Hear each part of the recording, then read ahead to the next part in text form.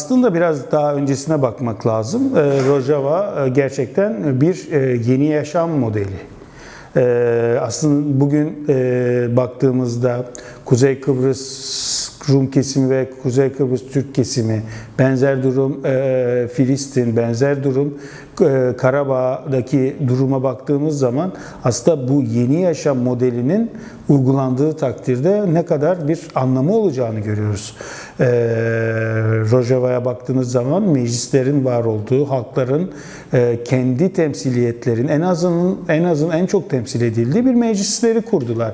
Tabii ki eksik ve yanlışlıkları olabilir ama orada kurulan bir yeni dünya düzeniydi ve bu kurulan dünya düzeni modeli aslında e, bugün yaşanan çatışma ortamlarını e, önleyebilecek bir modeldi.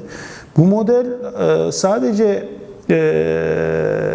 Türkiye açısından değil, dünya açısından da savaş politikaları savunan yapıların istemeyeceği bir durum. Ve dolayısıyla oradaki böyle bir yaşam şekli bir sıkıntı yarattı ve bu sıkıntı yaratılmasına da dan dolayı da açıkçası çok fazla ne yazık ki konjektürel duruma göre benimsenmiyor. Ee, çünkü yeni bir yaşam ve yeni modeldi.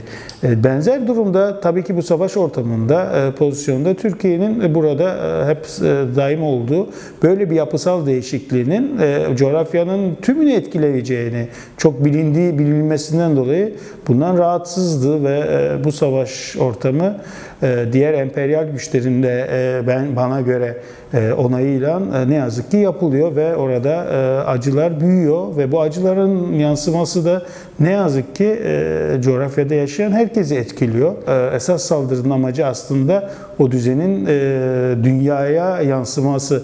Belki biz yakın yakınımızda olduğu için e, oradaki o, o değişimi çok farkında olamıyoruz ama e, bugün okuyoruz ve konuşmalarımızda, sohbetlerimizde Güney Amerika'dakiler bile oradaki Rojava'yı e, çok merak ediyorlar ve bu ciddi anlamda bu yeni yaşam şeklini e, araştırıyorlar. Savaş politikaları aslında e, en büyük, en masraflı ve coğrafyadaki herkesi etkileyen bir durum ve savaş politikalarının bakıldığında ülkedeki en büyük yatırımın savaş ve askeriyeye verildiğini biliyoruz. Yani barışın maliyeti aslında bu kadar ağır değil. Bir kere buradan bakmak lazım. Bu çok önemli. İkincisi biraz önce de söylemiş olduğum gibi aslında duygusal bir kopuş. Siz orada akrabalarınıza bombalandığı zaman buradaki onun yakınları burada rahatsız olur. En basitinden Lübnan'da benim akrabalarım var. Bugün orada olan saldırıda Lübnan'da yaşayan akrabalarıma bir şey olur kaygısını nasıl yaşıyorsa buradaki Kürt halkının evlatları e, kendi akrabalarına, kendi yakınlarına sadece o coğrafyada Kürtler de yaşamıyor. Asuriler, Süryaniler yaşıyor, Ermeniler yaşıyor ve e, ve diğer halklardan da yaşıyor. Hatta Türkiye'li başka kesimlerden de insanlar yaşıyor.